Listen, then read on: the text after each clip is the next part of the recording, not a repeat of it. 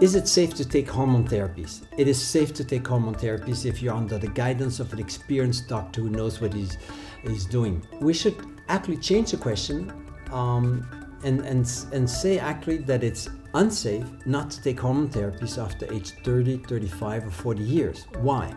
Why? Because uh, our hormone secretions decrease with age. And what is a hormone? Hormone is a sort of substance that is made in a tissue and that goes in the blood and goes uh, to uh, many organs where it's going to stimulate the function of the organs. So if you don't have enough hormones, you are an a sort of organ deficiencies all over. Your body doesn't function well. You can get fatigue, uh, you can get depression, you can feel pain, you can also look less less good and, and, and have maybe more fat accumulation, for example. So it's very important to treat our hormone deficiencies.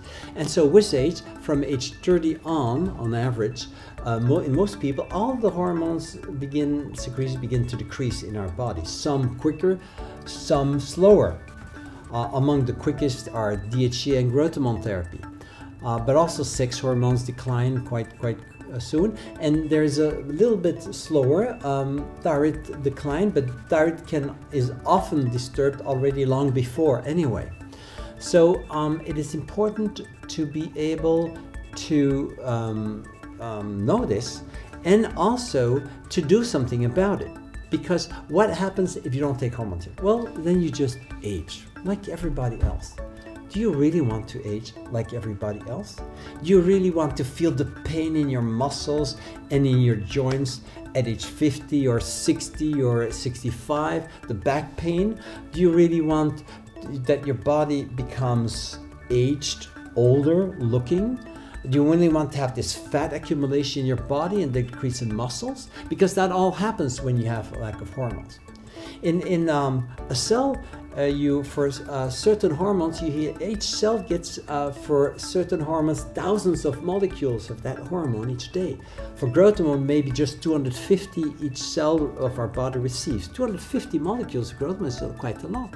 But some that's 10,000 or 1 million of those uh, um, molecules that come in our body and they all decline so if you have a 25% decline you often have billions of molecules in your body are missing you really want this well it's simple is to find a doctor who is able to help you balance your hormones back and, and to correct the hormone deficiency giving supplements. So it's really important. You will there's um, many studies showing that uh, hormones like uh, thyroid, testosterone, uh, female hormones, uh, growth hormone, and, and are pr protective against cardiovascular diseases, against aging of the arteries, atherosclerosis, against uh, hypertension, or, or in some cases hypotension, arterial hypertension. So um, uh, obesity, uh, diabetes, uh, cancer, osteoporosis, even cancer, uh, some hormones have protective effect, like often thyroid hormones seem to have in many studies.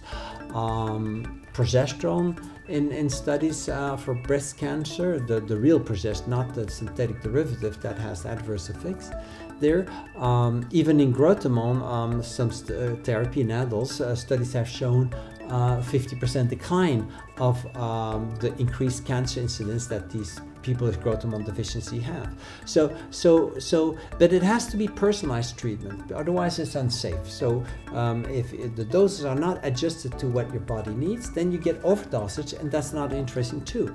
So, as a as a patient, you should try to get information uh, you should try to know what happens, uh, what are the complaints you have, what are physical signs you have when you have this hormone deficiencies, and what are the excesses. If you get a treatment, you have to be able that to screen uh, to to uh, recognize the excesses and then decrease the doses, and and that will make uh, treatments much safer. Also, if you participate as a full team member in the making up of your program with the doctor who has experience in doing it.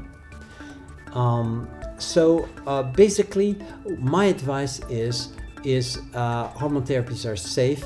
Uh, you should take them, but you should find a doctor who can control the treatment, do the necessary lab tests, do the necessary physical examination on you, and help you understand how you can also see if the uh, treatment is sufficient or insufficient or excessive, so that you really get this personalized treatment that you deserve to have.